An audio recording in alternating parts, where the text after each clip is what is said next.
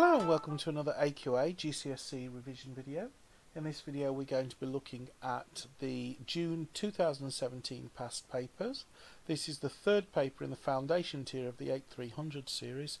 It is a calculator paper so we are allowed to use calculators. And we're picking up in question 7 which reads Here is a number machine and the input is x and then it, the machine multiplies the input by 3, subtracts 2 and gives the output of y. So let's work out the output when the input is 4. Okay, so 4 goes into the machine. So we've got 4 and then we multiply by 3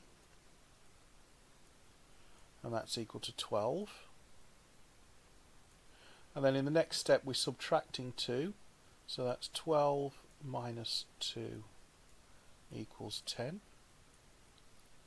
and our output is y so our answer is 10 okay it says work out the output when the input is negative 4 okay so negative 4 goes in. It's multiplied by 3 which makes negative 12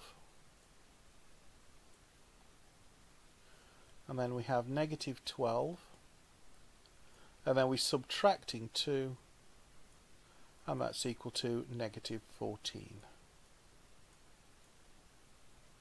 so our answer is negative 14 and that's all there is to it for two marks. Okay I hope you found that helpful. If you're taking your GCSEs this year I'd like to wish you every success with your revision and every success with your exams. And I look forward to seeing you